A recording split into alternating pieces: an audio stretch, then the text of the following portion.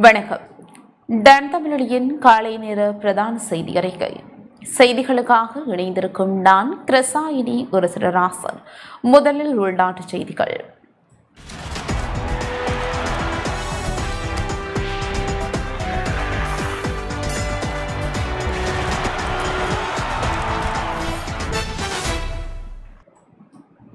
இந்து சமுத்திரமானது வளர்ந்து வரும் உலக பொருளாதாரத்திற்குள் முக்கியமான பங்கு வகிப்பதாக ஜனாதிபதி ரணில் விக்ரமசிங்க தெரிவித்துள்ளார். ஆரம்பகாலம் முதலே சிறப்புமிக்க கேந்திர நிலைவாக விளங்கும் இந்து சமுத்திரமானது வளர்ந்து வரும் உலக பொருளாதாரத்திற்குள் முக்கியமான பங்கு வகிப்பதாகவும் உலக அரசியலுக்குள் எடுக்கப்படும் தீர்மானங்களில் அதன் எதிர்காலத்தை தீர்மானிக்கும் எனவும் ஜனாதிபதி ரணில் விக்ரமசிங்க தெரிவித்துள்ளார். எமக்குரிய கலாச்சாரம் வர்த்தகம் மற்றும் ஒன்றோடு ஒன்று பிணைந்து காணப்படும். நாகரிக பாரம்பரியத்தை கொண்ட இந்து சமுத்திரத்தின் ஒற்றுமையை எவராலும் சிதைக்கவோ துடைத்தெறியவோ முடியாதெனவும் ஜனாதிபதி சுட்டிக்காட்டினார். காலி ஜெட்வின் கோட்டலில் நேற்று நடைபெற்ற காலி கலந்துரையாடல் இரண்டாயிரத்தி இருபத்தி மூன்று. சர்வதேச மாநாட்டில் ஜனாதிபதி இதனை தெரிவித்தார்.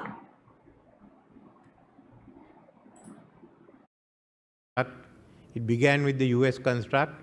of the hub and spoke system to consolidate its power after World War II in the Pacific and an economic construct, Asia Pacific, Hindu சமுத்திரத்தில் இலங்கை மூலோபாய அமைவிடத்தை கொண்டுள்ளது கொழும்பு துறைமுகத்தை அபிவிருத்தி செய்தால் வலயத்தின் மிகப்பெரிய விநியோகம் முக்கியஸ்தமாக உருவெடுக்கும். அதனால் கிழக்கு இந்து சமுத்திரத்தின் அபிவிருத்தியின் பிரதிபலன்களை நாமும் அடைந்து கொள்ள முடியும். அதேபோல் கம்பாந்தொட்டை துறைமுகத்தை ஆப்பிரிக்காவுடன் தொடர்புபடுத்தினால் அதனையும் வர்த்தக துறைமுகமாக மாற்ற முடியும். நாகரிகம் மற்றும் வர்த்தகத்திற்கு இடையிலான தொடர்புகளை உரிய வகையில் புரிந்து கொள்ள வேண்டிய அவசியமாக உள்ளது. எமக்கு துறைமுகங்கள் முக்கியமானதாகும். என்று உலகின் பிரதான துறைமுகங்கள் வரிசையில் துபாய் துறைமுகம் இணைந்துள்ளது. அதேபோல் மேலும் பல துறைமுகங்களும் இணைந்துள்ளன. இலங்கையும் இந்த போட்டிக்குள் இருக்க வேண்டும் என்பதால் எம்மால் முடியுமான அளவில் மற்றொரு துறைமுகத்தையும் உருவாக்குவோம். குறிப்பாக இன்று ஐக்கிய அரபு ராஜ்யம் மற்றும் கத்தார் ஆகியவை விமான நிறுவனங்கள் உலகளவில் பிரதானமாக ஆதிக்கம் செலுத்துகின்றன. மேலும் கட்டார் இன்னும் விமான நிலையத்திற்கு துறையில் வி- எனவே உங்களுக்கு இந்த துறையில் மேம்படும் புதிய போக்குகள் உருவாகுவதை காணும் திறன் உள்ளது. இந்தியாவும் பாகிஸ்தானும் ஏற்கனவே கிரிக்கெட் விளையாட்டில் இடம் பிடித்துவிட்டன. இன்று நாம் ஆசியாவின் எல்லா இடங்களிலும் பயணிக்கின்றோம். அந்த நிலையில் நாம் இந்து பசிபிக் பகுதியை நிராகரிக்கின்றோம் என்று அர்த்தமில்லை. இந்த சமுத்திரத்திற்கும் பசிபிக் சமுத்திரத்திற்கும் இடையிலான இரு தொடர்புகள் உள்ளது. இலங்கையில் உள்ள நாம் இந்து பசிபிக் பிராந்தியத்தை ஆசியாவின் பார்வையின்படி இரண்டு வெவ்வேறு சமுத்திரங்களாக அங்கீகரிக்கின்றோம். அது ஒரு தனி சமுத்திரம் என்று நாம் குறிப்பிட்டார். இது ஒரு சமுத்திரமாகும். உலகளாவிய புவிசார் அரசியலில் நாம் எடுக்கும் நிலைப்பாடு நமது போக்கை தீர்மானிக்கும். ஆனால் இந்த சமுத்திரத்தின் கடல்சார் சுதந்திரம் மற்றும் கடலுக்கடியில் அமைக்கப்படும் கேபிள்களின் பாதுகாப்பையும் நாம் உறுதி செய்ய வேண்டும். இதனால் தான் நாம் இப்போது முன்னோர முயற்சி எடுக்க வேண்டும். For imposed by the British Empire. It's a civilization that has we have traded with each other, we have fought with each other, we have cultural links with each other. காலி கலந்துரையாடல் இரண்டாயிரத்தி இருபத்தி மூன்று சர்வதேச மாநாடு. ஜனாதிபதி ரணில் விக்ரமசிங்க தலைமையில் காலி ஜெட்வின் ஹோட்டலில் நேற்று ஆரம்பமானது. இம்முறை இந்து சமுத்திரத்தில் உருவாகும் புதிய ஒழுங்குமுறை துணைப்பொருளின் கீழ் பதினோரு சர்வதேச அமைப்புகள் மற்றும் நாற்பத்தி நான்கு நாடுகளின் சமுத்திரவியல் பிரதிகளின் மற்றும் கடற்படை பிரதானிகளின் பங்கேற்புடன் இந்த நிகழ்வு நேற்று ஆரம்பமானது. மூன்று தசாப்தங்களாக நாட்டில் இடம்பெற்ற பயங்கரவாத யுத்தம் நிறைவடைந்ததன் பின்னர் அதன் அனுபவங்களை உலகத்துடன் பகிர்ந்து கொள்வதற்காக இரண்டாயிரத்தி பத்தாம் ஆண்டில் ஆரம்பிக்கப்பட்ட காலி கலந்துரையாடல் சமுத்திரவியல் மாநாடு இம்முறை பதினோராவது தடவையாக இடம்பெறுகின்றது. இதனூடாக வலயத்தினதும் உலகத்தினதும் தலைவர்களை ஒரே மேடைக்கு வரவழைத்து கடற்படை சுற்றாடல் சமுத்திர மற்றும் அரசியல் கலந்துரையாடல்களை ஏற்படுத்தும் மற்றும் உலக பிரச்சனைகள் தொடர்பில் கலந்துரையாடல் மற்றும் அதற்கான தீர்வுகள் குறித்து ஆராய எதிர்பார்க்கப்படுகின்றது. இந்த சமுத்திர எல்லை நாடுகளின் சங்கத்தின் தலைமை பதவி இலங்கைக்கு கிடைத்ததன் பின்னர் நடத்தப்படும் முதலாவது மாநாடாக இது அமைந்திருக்கின்றது. நிகழ்வில் துறைமுகங்கள் மற்றும் சிவில் விமான சேவைகள் அமைச்சர் நிமல் சிறிபாரடி சில்வா பாதுகாப்பு ராஜாங்க அமைச்சர் பிரமித்த பண்டாரத்தினுக்கும் தென்மாகாண ஆளுநர் வேலிக்கமுகை தேசிய பாதுகாப்பு தொடர்பான ஜனாதிபதியின் சிரேஷ்ட ஆலோசகரும் ஜனாதிபதி பணிக்குழாம் பிரதானியுமான சாகல ரட்நாயக்க. பாதுகாப்பு செயலாளர் ஓய்வு பெற்ற ஜெனரல் கமல் குணரட்ன பாதுகாப்பு பதவி நிலை பிரதானி ஜெனரல் சவீந்திர சில்வா கடற்படை தளபதி வைஸ் அட்மிரல் பிரியந்த பிரேரா ராணுவ தளபதி லெப்டினல் ஜெனரல் பேக்கும் லியனகே முன்னாள் கடற்படை தளபதிகள் மற்றும் கடற்படையின் சிரேஷ்ட அதிகாரிகள் பலரும் கலந்து கொண்டனர்.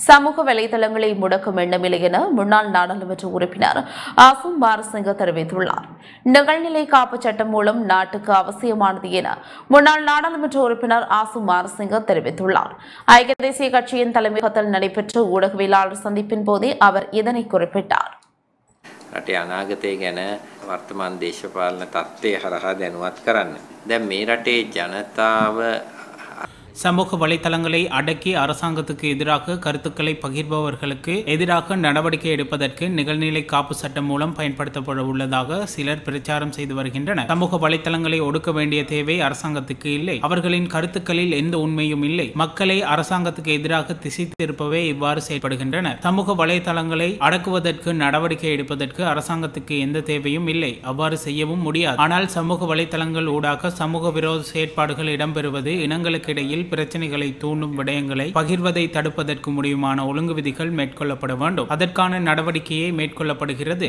அவ்வாறு இல்லாமல் சமூக வலைத்தளங்களை அடக்குவதற்கு அரசாங்கம் ஒருபோதும் நடவடிக்கை எடுக்கப் போவதில்லை හැබැයි මෙතන මතක් කරන්න ඕන අපි පාරිභෝජන ක්‍රියාවලිය තුළ අපි පුරුදුනා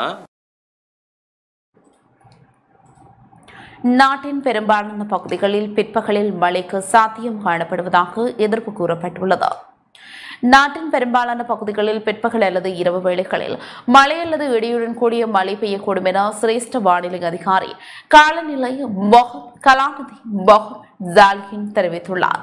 கிழக்கு ஊபா மற்றும் மத்திய மாகாணங்களின் சில இடங்களில் 75 ஐந்து மில்லிமீட்டரில் கூடிய ஓரளவு பலத்த மழை பெய்யலாம் எனவும் எதிர்பார்க்கப்படுவதாகவும் அவர் குறிப்பிட்டுள்ளார். கொழும்பு தொடக்கம் காலி கம்பாத்தொட்டி ஊடாக மட்டக்களப்பு வரையான கடல் பிராந்தியங்களில் பல இடங்களில் மழை பெய்வதற்கான சாத்தியம் காணப்படுவதாகவும் எதிர்ப்பு கூறப்பட்டுள்ளது.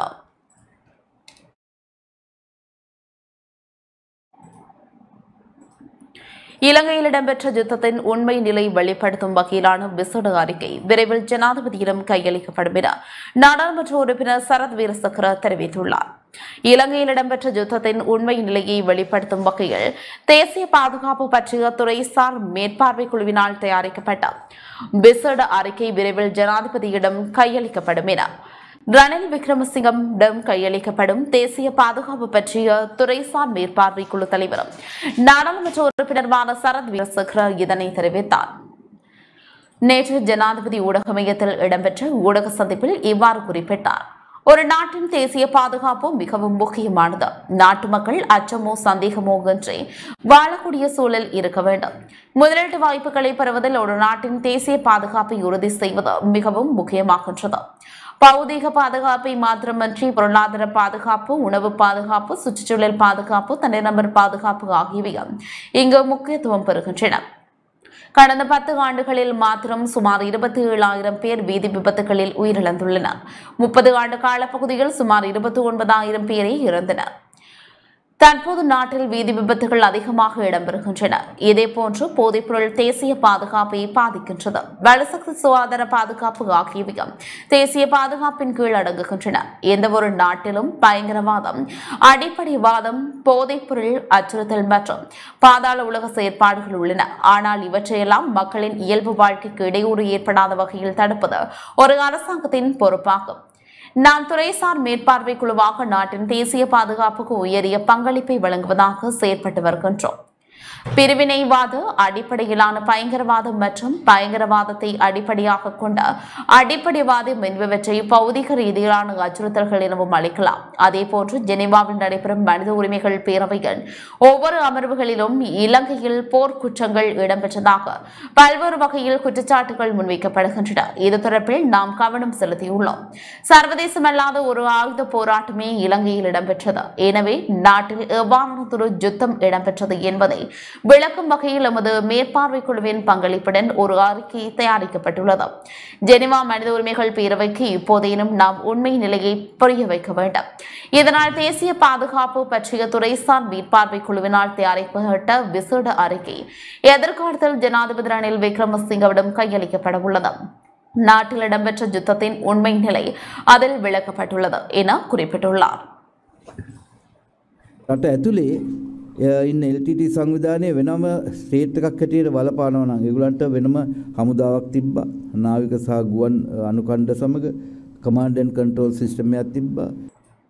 சமூக ஊடகத்தை அடக்குவதற்கான சட்ட ஏற்பாடுகளை எதிர்ப்பதாக நாடாளுமன்ற உறுப்பினர் வேணா ராதாகிருஷ்ணன் தெரிவித்துள்ளார். சமூக ஊடகத்தை அடக்குவதற்கான சட்ட ஏற்பாடுகளை எதிர்ப்பதாகவும் எந்த அரசாங்கம் வந்தாலும் ஊடக சுதந்திரம் வழங்கப்பட வேண்டும் எனவும் மலையக மக்கள் முன்னணியின் தலைவரும் நுவர்லியா மாவட்ட நாடாளுமன்ற உறுப்பினருமான வேணா ராதாகிருஷ்ணன் தெரிவித்துள்ளார். நுவரெலியாவில் ஊடகங்களுக்கு கருத்து வெளியிடுகையில் இவ்வாறு குறிப்பிட்டார். சமூக ஊடகங்களுக்கு எதிரான சட்டத்தை இப்போ கொண்டு வருவதற்கான அரசாங்கம் திட்டமிட்டிருக்கின்றது.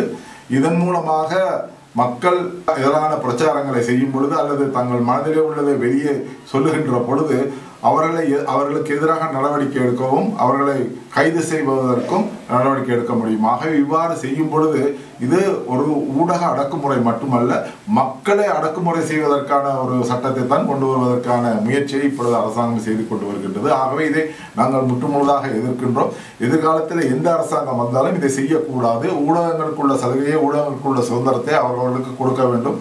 மக்களுடைய ஜனநாயகத்தை பாதுகாப்பதற்கான நடவடிக்கை எடுக்கப்பட வேண்டும் என்பதை நாங்கள் திட்ட தெளிவாக சொல்லிக்கொள்ள விரும்புகின்றோம். பிரித்தானிய அமைச்சர் Anne Marie Melinda Trevelyan Tamil நாடாளுமன்ற உறுப்பினர்களை சந்தித்துள்ளார். யாழ்ப்பாணத்திற்கு விஜயம் செய்துள்ள பிரித்தானிய அமைச்சர் ஆன்மேரி பெலண்டா பெலிண்டா ரவேலியன் தமிழ் நாடாளுமன்ற உறுப்பினர்களை சந்தித்துள்ளார். இந்த சந்திப்பு நேற்றிரவு தனியார் விருந்தினர் விடுதியில் இடம்பெற்றது. இந்த சந்திப்பில் நாடாளுமன்ற உறுப்பினர்களான தர்மலிங்கம் சித்தார்த்தன் சிவஞானம் சிறிதரன் சி. வி. விக்னேஸ்வரன் மற்றும் இலங்கைக்கான பிரித்தானிய உயர்ஸ்தானிகர் ஆகியோர் பங்கேற்றனர். எங்களுடைய பிரச்சனைகள் என்ன என்று கேட்டார்கள். அவற்றை நாங்கள் எடுத்துச் சொன்னோம். அவர்களுக்கு பலவிதமான பிரச்சனைகளை பற்றி தெரியும். ஆனால் அதே நேரத்திலே எந்த அளவுக்கு இவற்றுக்கு அப்பால் சென்று ரெண்டு இனங்களையும் சேர்த்து வைக்கக்கூடிய வழிமுறைகள் இருக்கின்றதா என்பதை பற்றி அவர்கள் ஆராய்ந்தார்கள். பொருளாதார அபிவிருத்தி சம்பந்தமாகவும் அவர்கள் சில விடயங்களை கூறி கூறினார்கள். நாங்கள் இதுவரை காலமும் வடமாகாணத்திலே பொருளாதார ரீதியாக எங்களுடைய தேவைகள் என்ன என்று சம்பந்தமாக போதுமான ஆராய்ச்சி செய்து ஒரு அறிக்கை பெறவில்லை என்பதை எடுத்து சுட்டிக்காட்டினோம் வடகிழக்கு மாகாணத்திலே மக்களுக்கு இருக்கும் தேவைகள் என்ன? அதாவது போரின் பிற்பாடு ஏற்பட்ட பாதி பாதிப்புகளால் எங்களுக்கு இருக்கின்ற தேவைகள் என்ன என்பது சம்பந்தமாக போதுமான அறிக்கைகள் தயாரிக்கப்படவில்லை என்பது சுட்டிக்காட்டப்பட்டது. அரசாங்கத்தினுடைய முகம் தற்போது வித்தியாசமாக அமைந்திருப்பதையும் எடுத்து சுட்டிக்காட்டினோம். ஆனால் வருங்காலத்திலே இவை மாற்றமடையக்கூடும் என்ற ஒரு கருத்தை அவர்கள் முன்வைத்தார்கள். ஆகவே அதிலிருந்து அவர்களும் தங்களால் இயலமான வரையிலே தமிழ் மக்களுடைய பிரச்சனைகளை எவ்வாறு தீர்க்கலாம் அல்லது அது சம்பந்தமாக எவ்வாறு அரசாங்கம் தன்னுடைய நிலைப்பாட்டை மாற்ற முடியும் என்பது சம்பந்தமாக சில கருத்துக்களை எங்களால் அவர்களுடைய பேச்சிலிருந்து அறிந்து கொள்ளக்கூடியதாக இருந்தது. நான் அவர் ஒரு கேள்வி கேட்டேன். இந்த யுஎன்ஹெச்ஆர்சி ஐக்கிய நாடுகள் சபையினுடைய மனித உரிமை சபையால் கொண்டு வரப்பட்ட அந்த தீர்மானம் அடுத்த முறையும் கொண்டு வரப்படுமா என்று ஒரு கேள்வி. அதற்கு பிரித்தானியா எந்த அளவிலே கடந்த காலங்களில் செய்த போல முயற்சிகள் எடுக்குமா என்ற ஒரு கேள்வியை கேட்டதற்கு அவர் மிக தெளிவாக சொன்னார் தாங்கள் அந்த முயற்சி எடுப்பதாகவும் ஆனால் இன்னும் நீண்ட காலம் இருக்கின்றது. அது ஒரு பேசுபொருளாக ஒரு உயர் சபையிலே இருப்பது ஒரு மிக முக்கியமான விஷயம். அது தொடர்ந்து பேசுபொருளாக இருக்கின்ற போது என்றோ ஒரு நாள் அதனால் அது அடுத்த கட்டத்துக்கு போகக்கூடியதாக இருக்கும். ஆகவே நீங்கள் அதை கட்டாயமாக கொண்டு வர வேண்டும் என்று அவரிடம் நான் நாங்கள் கேட்டுக்கொண்டோம். அவர்களுக்கு ஒரு ஆர்வம் இருக்கின்றது. இந்த பிரச்சனையிலே அவர்கள் தொடர்ந்தும் எங்களுக்கு தங்களால் இயன்ற உதவிகளை செய்வார்கள் என்று நான் நம்புகின்றேன். நுவரலியா ஹோட்டல்களை ஐதிக வர்த்தக சங்கத்தினால் ஒரு தொகை மருந்து பொருட்கள் வழங்கப்பட்டுள்ளன. நுவரெலியா ஹோட்டல்களை ஐக்கிய வர்த்தக சங்கத்தினால் ஹோட்டல்களை ஆதார வைத்தியசாலைக்கு நேற்று ஒரு தொகை மருந்து பொருட்கள் வழங்கப்பட்டுள்ளன. மருந்து தட்டுப்பாட்டை கருத்தில் கொண்டு வர்த்தக சங்க தலைவர் புஷ்பா விஸ்வநாதன் தலைமையில் மாவட்ட வைத்திய அதிகாரி சாவித்ரி ரவிவர்மாவிடம் மருந்துகள் வழங்கப்பட்டன. இதில் கொட்டகலை வைத்திய வர்த்தக சங்க செயலாளர் மதியழகன் உபத்தலைவர் பூவலிங்கம் உட்பட வைத்தியசாலை உத்தியோகத்தர்கள் பங்கேற்றனர்.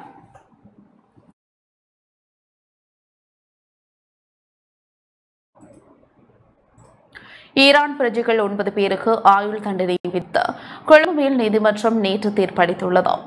நாட்டுக்குள் ஹெரோயின் போதைப் பொருளை கடத்தி வந்த குற்றச்சாட்டுக்காக ஈரான் பிரஜைகள் ஒன்பது பேருக்கு ஆயுள் தண்டனை விதித்து கொழும்பு மேல் நீதிமன்றம் நேற்று தீர்ப்பளித்துள்ளது. இது தொடர்பான வழக்கு விசாரணை நீதிபதி அமல் ரன்ராஜா தலைமையில் இடம்பெற்றது. இரண்டாயிரத்து பத்தொன்பதாம் ஆண்டு பிப்ரவரி இருபத்தி நான்காம் திகதி இலங்கையின் தென் தென்கடற்பகுதியில் ஒன்பது ஈரானியர்களும் கடற்படையினரால் கைது செய்யப்பட்டு போலீசாரிடம் ஒப்படைக்கப்பட்டனர். இவர்கள் பயணித்த படநாள் படக்கில் நூறு கிலோகிராம் ஹெரோயின் மீட்கப்பட்டது. இந்த ஹெரோயின் தொகை அரசாங்க ரசாயன பாதுகாப்பு திணைக்களத்திற்கு அனுப்பி வைக்கப்பட்டு விசாரணைகள் முன்னெடுக்கப்பட்டன. இந்த நிலையில் நேற்று இது தொடர்பான வழக்கின் போது ஹெரோயின் கடத்தியமையை குற்றவாளிகள் ஏற்றுக்கொண்டதாக அவர்கள் சார்பில் ஆயிரான சட்டத்திறனிகள் மன்றுக்கு அறிவித்தன இந்த நிலையிலேயே ஒன்பது ஈரானியர்களுக்கும் ஆயுள் தண்டனை விதிக்கப்பட்டுள்ளது. மேலும் சர்வதேச சட்ட விதிமுறைகளுக்கு அமைவாக கைதிகளை அவர்கள் நாட்டுக்கு அனுப்பி வைக்க நடவடிக்கை எடுக்குமாறு நீதிபதி பணிப்புரை வழங்கியுள்ளார்.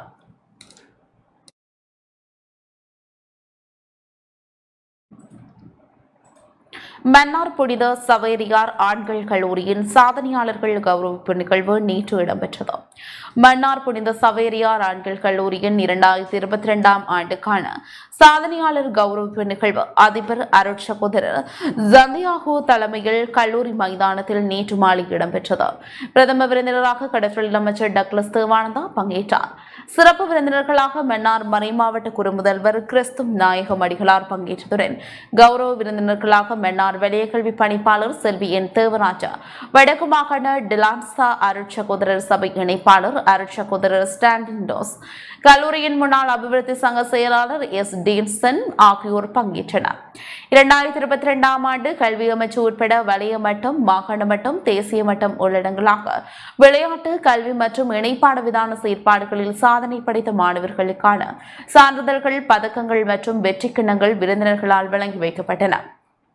கடந்த வருடம் புலமை பரிசல் பரீட்சையில் வெட்டுப்புள்ளிகள் அதிகம் பெற்று சித்தியடைந்த மாணவர்கள் மற்றும் உயர்தர பரீட்சைகள் த்ரீ ஏ தர சித்தி பெற்ற மாணவர்கள் சாதனைதர பரீட்சையில் நைன் ஏ தர சித்தி பெற்ற மாணவர்கள் கௌரவிக்கப்பட்டனர் அத்துடன் கடந்த வருடம் ஜனாதிபதி சாரணர் விருது சுற்றாடல் திறன் நிகழ்வு உட்பட தேசிய மட்டத்தில் இடம்பெற்ற உதைப்பந்தாட்ட போட்டியில் இரண்டாம் இடத்தை பெற்ற மாணவர்கள் கௌரவிக்கப்பட்டனர்.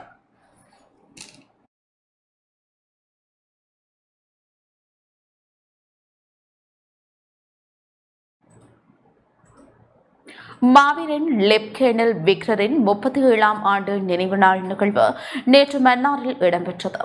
மன்னாரை சேர்ந்த ஈழ விடுதலை போராட்ட மாவீரன் லெப்டினல் விக்டரின் முப்பத்தி ஏழாம் ஆண்டு நினைவு நாள் நிகழ்வு மன்னாரில் இடம்பெற்றது. இலங்கை தமிழரசு கட்சியினர் மன்னார் கிளையின் ஏற்பாட்டில் அதன் தலைவரும் நாடாளுமன்ற உறுப்பினருமான சால் நிர்மலநாதன் தலைமையில் நேற்று மாலை விக்டரின் திருவுருவப் படத்திற்கு மாலை அணிவித்து சுடரேற்றி மலர் தூவி அஞ்சலி செலுத்தப்பட்டது. இதில் நகரசபை பிரதேச சபை முன்னாள் உறுப்பினர்கள் தமிழரசு கட்சியின் கிளை உறுப்பினர்கள் உட்பட பலரும் பங்கேற்று அஞ்சலி செலுத்தினர்.